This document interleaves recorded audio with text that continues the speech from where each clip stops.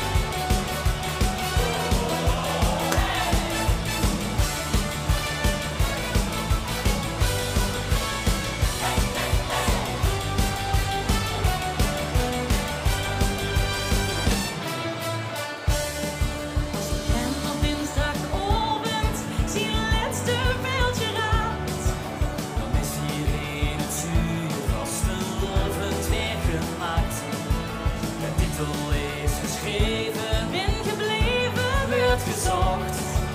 De mooiste was de lood.